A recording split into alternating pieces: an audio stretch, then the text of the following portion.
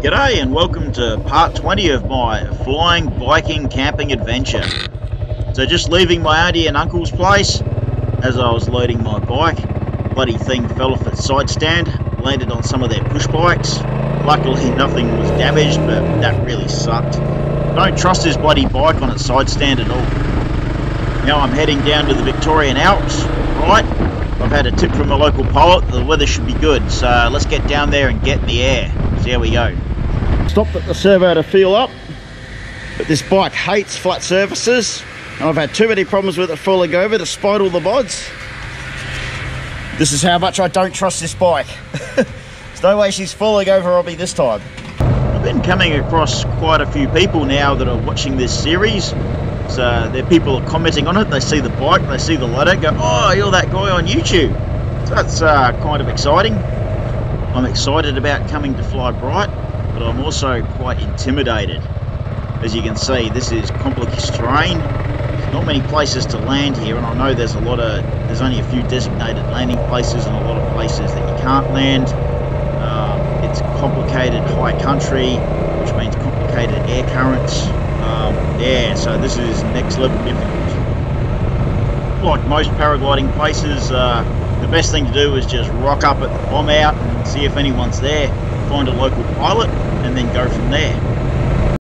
Well, reached the bomb out, someone flying up there. Hopefully they'll get a ride up the hill.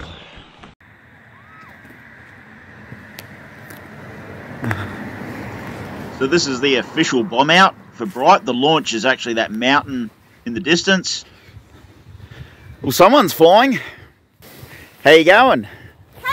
Alex! uh, if I knew you would video me, I'm gonna land on that thing. That was a good landing. What are you talking about? No, because it was got water. I worry I stay on that when it's slippery. Oh, come here, come here. I know, no harm. Oh, you're a cold thing.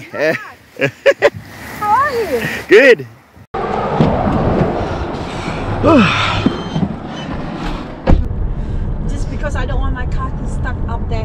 Yep. Only a tiny, tiny little um, Yeah. um, Otherwise I couldn't launch. one, one kilometre an hour, two kilometre an hour. How you going, fellas? Oh, yeah, good. Yeah, that's what I want to know. Need a front wind, not a back wind. Um, just only a little bit. It's too much for me. Too much? I'm not going to go with the back wind. No, I can run it. Not experienced enough. Oh yeah, maybe you know. Not familiar enough with mountains. Yeah. Yeah. Yeah, But I, I can't take off. Hey, you're a weapon. No, no, I mean I'm so used to it. It's a little Yeah, But all you have to do is forward launch and run fast. It's fine. I'm not used to it. So. Yeah, don't do. Maybe tomorrow morning you come. You see people do it, then you know. My mate went into the trees there trying to do that. Keith. You kidding me? nope. yep. What? Yep. Really? Yep. I've got lots of mates that are good at crashing. Okay. In, in Bright? yep. Don't say that. Uh, must have been too much of a backwind. Maybe too much. Like this, it's okay. Yeah. Oh, there we go. What's that? Thermal. Well, I've been convinced that I can do a Okay. forward launch with a backwind. Never done anything like that before. Goes against everything I've been taught.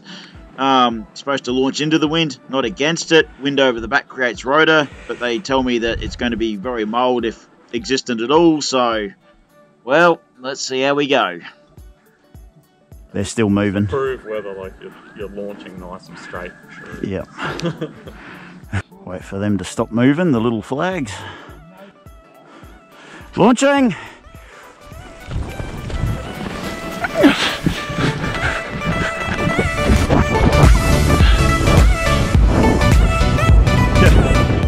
Survived my first ever backwind forward launch, and like they said, the rotor wasn't bad at all. Now I've got to try and find some lift. Isn't this place absolutely gorgeous?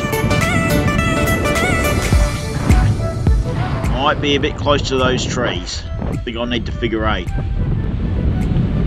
Now I'm out of lift. This is too small for me to figure eight in.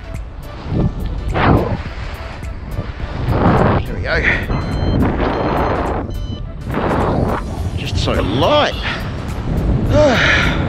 Trying. Straighten the sink. Just small, Well, too small for me to work. See if there's anything coming off the peak of that tree line in front of me.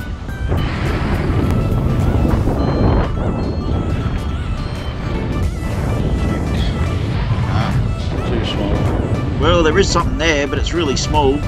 Might follow this tree line, just see if there are any thermals popping off along here.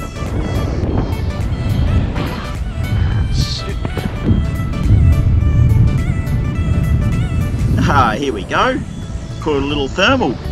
Let's explore it, see what's going on.